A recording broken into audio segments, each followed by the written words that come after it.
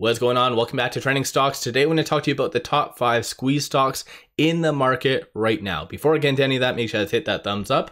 And with that, let's get right to it. So starting off with stock number five, PureCycle Technologies, tickers PCT. So on Wednesday, so at the time of doing this video, it is Wednesday evening, so take that into consideration. But Wednesday, it did go down 3.71% over the last one year, down 7.61%. And then 2024, it has done relatively good, up 40.99%. This is what they do, so you can always pause it and read through it.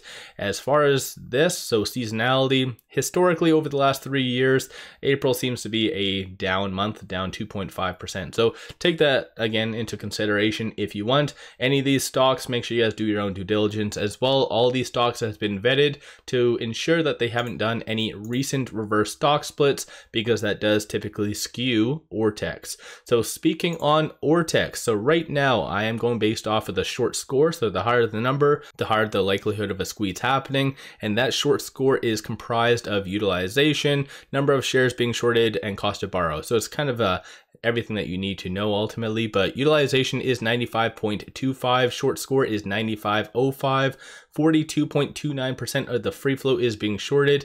And then on Wednesday, shorts did increase about 31,000 shares, give or take, and cost borrow average is 24.19%. So this is stock number five. Let me know your thoughts on that. Moving on to stock number four, Desktop Metals, ticker is DM. On Wednesday, it went up 7.69%. And keep in mind, Wednesday was a bloodbath because of CPI. So for it to close in the green, I think that is kind of a good thing. But beside the point, over the last one year, down 50.22%. And in 2024, it is up 49.13%. Desktop Metals has been on this list in the past. So it has uh, the ability to squeeze essentially, but this is what they do, so you can always pause it and read through it again in case you are curious. As far as seasonality over the last four years, in April it does yield a negative 9.4. May seems to be pretty horrific as well, down 15.4%.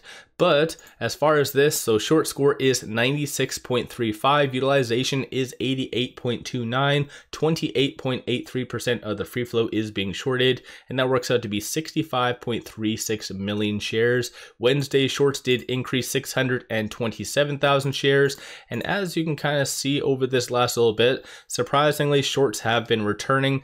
It was about 32% short interest or almost 33 to where it is now. So Obviously, shorts have been slowly kind of returning some shares over this last month, month and a half. So obviously that has really helped the stock price over the last little bit. Moving on to stock number three. So this one right here is Torrid Holdings, ticker CURV. Wednesday, it went down 6.86%. Over this last one year, down 3.1. Year to date, down 29.46. So not necessarily the best performer. This is what they do. So apparel retail.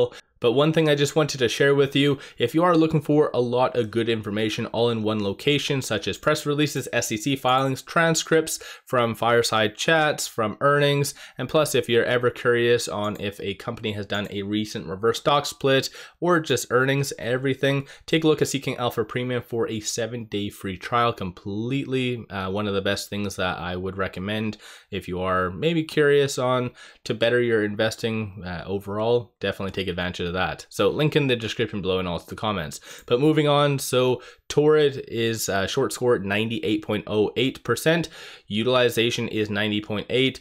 On Wednesday, surprisingly, even though it did go down quite a lot, shorts did return about 13.1 thousand shares. 16.92% of the free float is being shorted, and that works out to be 1.92 million shares overall are being shorted. Cost to borrow average is a little bit lower in comparison to the previous trading day, so 70.29%.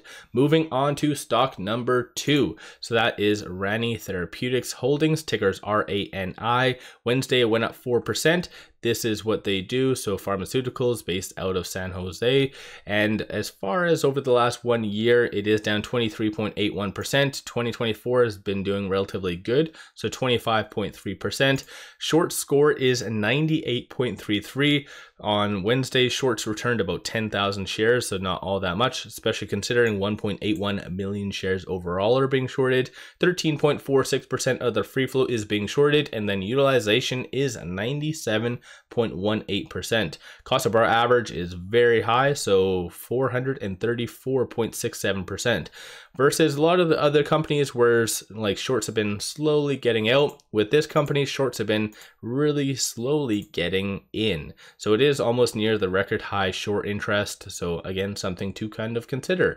Let me know your thoughts on Rani. On a side note, if you do own any of these companies, let me know why. Are they good fundamental companies to own or are they just more squeeze plays? But regardless, stock number one is this and that is ImmunityBio Inc., tickers IBRX. Wednesday, it went down 3.25% over this last one year, up 277%. So that's very positive, of course. In 2024, up 18.73%. This is what they do. So, biotech company based out of San Diego. Seasonality April seems to be a red month, so down 1.3%, but historically, May and June seems to be fairly good. So, I don't know if this is one of those ones that maybe you want to keep on your radar essentially. This is a little bit more of a breakdown. So, 4.17 billion for a market cap, but short score is 98.82%. Utilization is 100%. On Wednesday, shorts returned about 51,000 shares. 37.94% of the free flow is being shorted, and 55.36 million shares overall are being shorted. And then cost to borrow average is 64.58%. So this stock definitely does seem out of all the ones I talked on has probably the best and most robust operation uh, based on what I can see. So let me know your thoughts on the top five squeeze stocks. What other stocks do you feel have the opportunity to essentially squeeze? And again, let me know why. Don't forget to hit that thumbs up. One final thing I just wanted to share with you. Make sure you guys take advantage of this promo that I have been sharing with you. Sign up for a new account with Moomoo, throw $100 at it, and they do give you seven fractional shares of the Mag 7. So a $35 total value. So that is a very good return on investment for just throwing $100 at a new account. So take advantage of this. Link in the description below and also the comments. With all that said, appreciate all of you watching.